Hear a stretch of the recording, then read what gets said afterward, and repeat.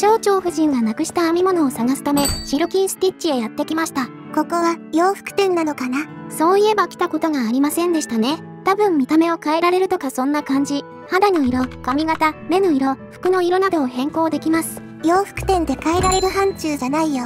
編み物の手がかりを探そうと思いましたが、誰もいませんでした。また後で来ることにしましょう。次は警察署の棚の鍵を求めて、大工屋です。合鍵を作ることはできるかな？こんにちは。ちょっと町長の金庫の鍵を作りたいんですけど。そんなもの作るんじゃないよ。ほら、大工さんもうなってるじゃない。このうなってるのは別の理由だと思いますけどね。どんな理由で？製図台が古くなっちゃって、随分使いづらいらしいです。だから、新しい製図台が欲しいんだとか。大工なんだから自分で作ればいいじゃない。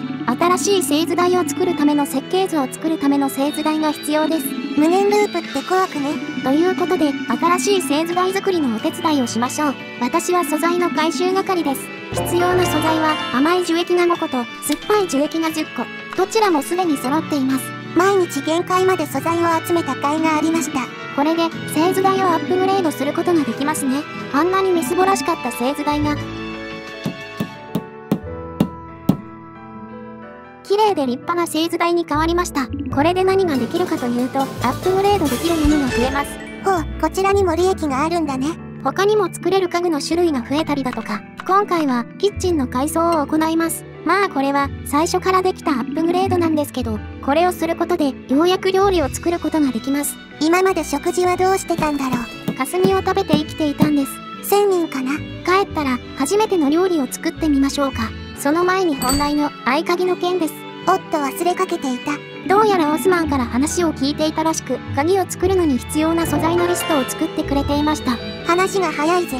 テンバーフルーツというのがあと4個足りませんね。確か雪原にいる敵が落とすアイテムだった気がする。ということで素材を集めていきましょう。探索のお供に食事が必要ですね。ということでこれから初めての料理をします。大丈夫卵割れるぬく主じゃあるまいし。で、全然レシピがアンロックされてないや。今作れるのは、キノコのスープだけかな必要な素材はキノコだけ。スープ、なのか？スパイスと調味料は最初から備わっているのです。はい、キノコのスープが出来上がり、多分通常のキノコよりもスタミナ回復量が多いんじゃないかな知らんけど。にしても、新しい料理のレシピってどうやって解禁するんだろう。人から教えてもらうとか、レシピ本があるとか、よくわかりませんね。それから素材を収集して、次の日の朝です。家を出ると、彼は、ちょっとおかしいやつ。そういえば日本語だとどういう喋り方をするんだろう。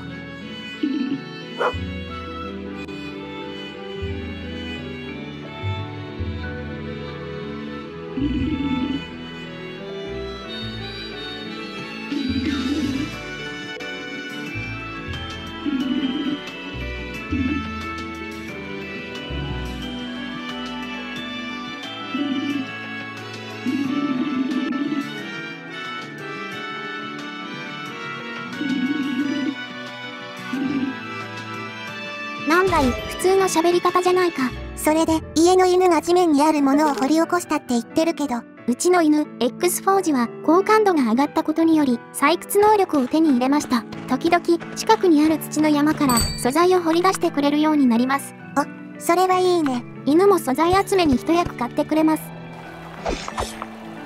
あ、掘ってる掘ってる。何を掘り起こしてくれるかな？トリュフ？高級食材が掘り起こされたぞ。す、すごいね君。これで料理の幅が広がります。基本的に食材を掘り起こしてくれる感じなのかな。さて、大体素材は集まりました。次は再度、シルキースティッチに行きます。さて、蝶々夫人の編み物は見つかるのか？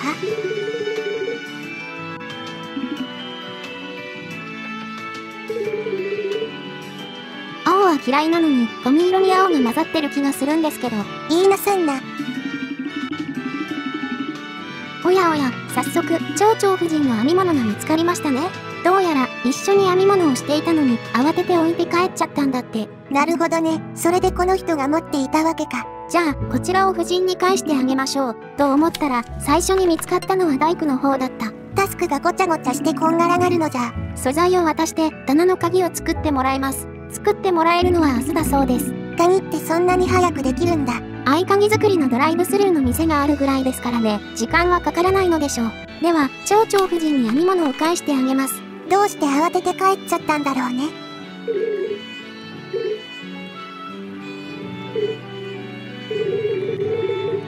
コンロに火をつけたまま編み物しに行ってたんかい。火災不可避。町長の家が火事になったら割と大問題だぞ。よし、これでクエストクリア。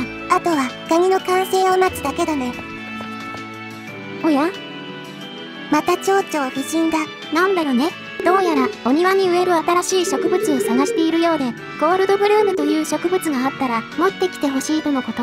ゴールドブルーム、聞いたことがないな。町長の家の中の文献に記載があるようです。でも、ゴールドブルームはとっくの昔に絶滅してしまったと書いてあります。じゃあもうダメじゃないか。